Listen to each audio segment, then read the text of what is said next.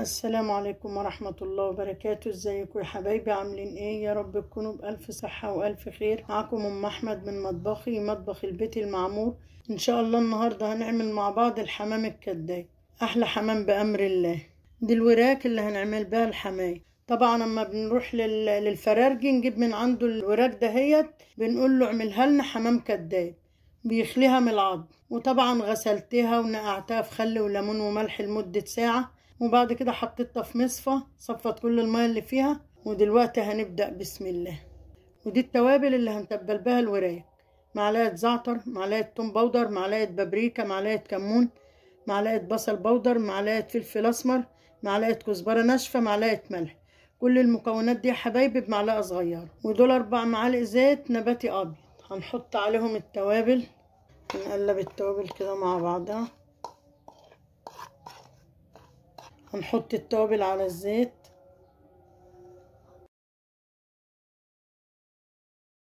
وبعد ما حطيت التوابل على الأربع معالق زيت هحط على التوابل فلفلاية ألوان وفلفلاية رومي مع خمس فصوص توم. فرمهم في الكبة كويس جدا.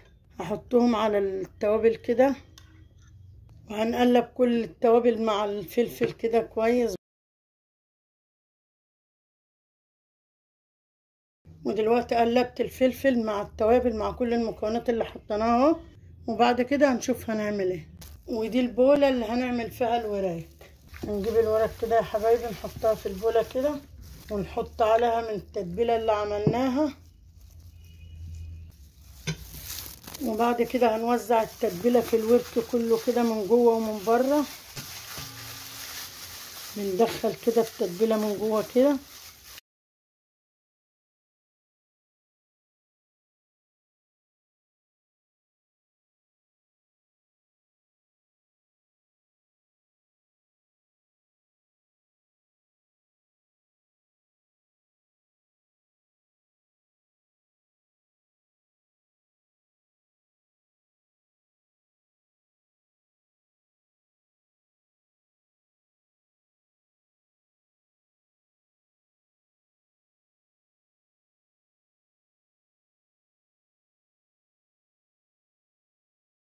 ودلوقتي يا حبايبي وزعت كل التتبيلة في الوراك اهو. هسيب الوراك دي في التتبيلة لمدة ساعة ويلا بينا على البوتاجاز نجهز الرز بتاع الحمام. ودي الحلة اللي هنعمل فيها الرز بتاع الحمام. هولع عليها. هحط شوية زيت نباتي أبيض.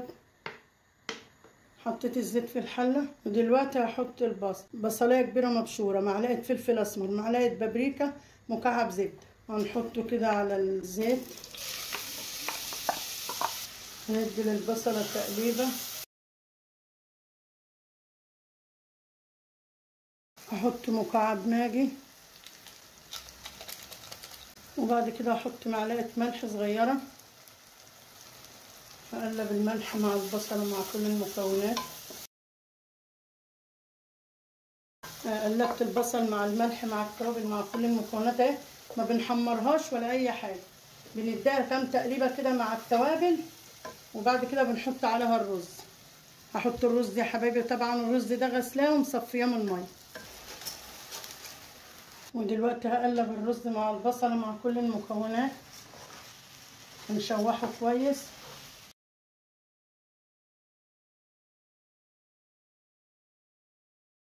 أحط نص معلقة كاري صغيرة.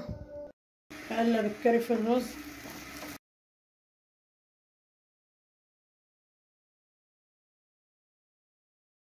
ودلوقتي يا حبايبي قلبت الرز اهو شوحته في كل المكونات اللي حطيناها لحد ما حبيت الرز لمعت اهي ودلوقتي هحط له المية مية سخنة.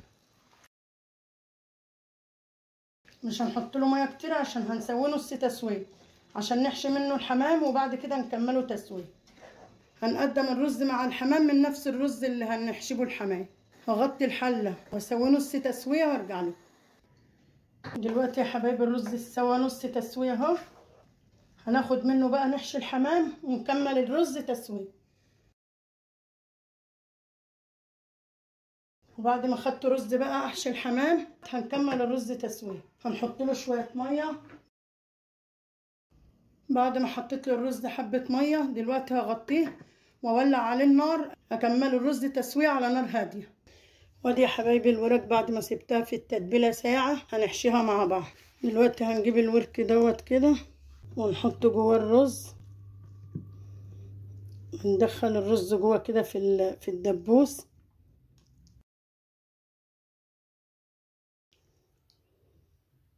وبنروح لفين الورك كده اهو. الجلدة بتاعت الدبوس كده. وبنلفه كده اهو.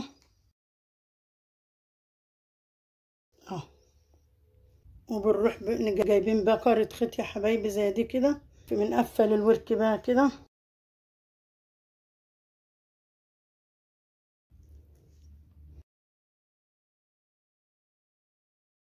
وبنقطع الفتلة كده.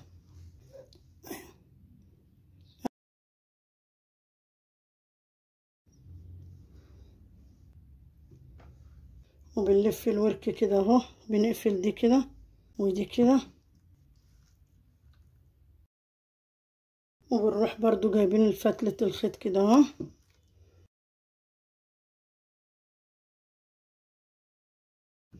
وبنروح قافلينها كده.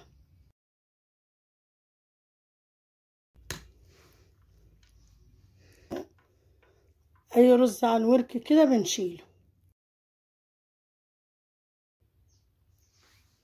ودي يا حبايبي الحمام بعد ما حشيناه مع بعض. يلا بينا على البوتاجاز نشوف هنعمل إيه. ودي الحلة اللي هعمل فيها الحمام. هولع عليها. أحط فيها مكعب زبدة.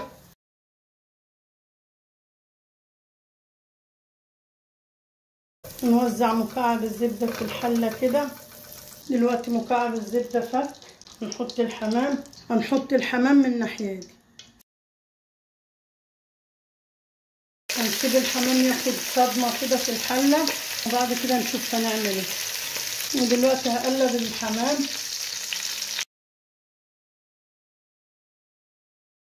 دلوقتي هطلع الحمام.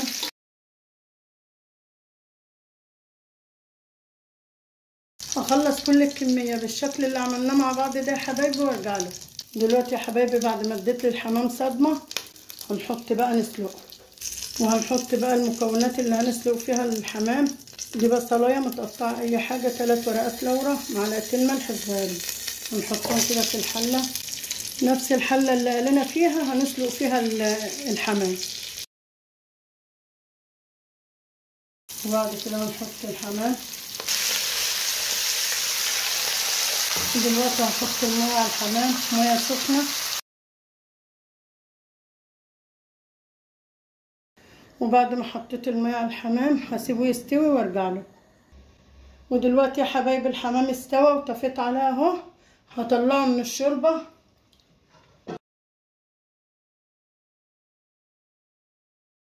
دلوقتي بعد ما طلعت الحمام هنقليه مع بعض. دي الطاسة اللي هنقلي فيها الحمام. دلوقتي هحط في الطاسة الزيت. هسيب الزيت يسخن. دلوقتي الزيت سخن هحط الحمام. دلوقتي هقلب الحمام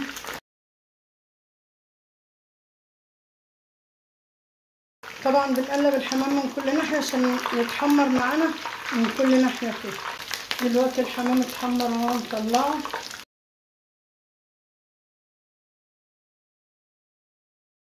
أخلص كل الكمية بالشكل اللي عملناه مع بعض ده يا حبايبي وأرجع لكم نقدمه مع بعض.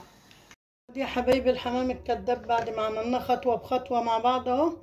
طبعا الخيط اللي بنقفل بيه الحمام بيتفك بمنتهى السهولة بالمقص كده يا حبايبي أنا فكيت ده طبعا خليت واحدة نشيل الخيط بتاعها مع بعض.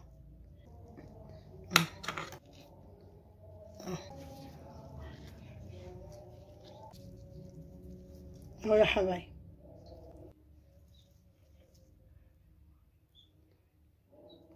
اعملوا الحمام الكداب بطريقة ام أحمد وبأمر الله فوق الوصف. ولو عجبكم الفيديو يا حبايبي like و share واشتراك للقناة. وبدعواتكم يا حبايب قلبي احبكم في الله الف هنا وشفا نتمنى لكم صوما مقبولا وإفطارا شهيا. كل عام وأنتم بخير. رمضان كريم.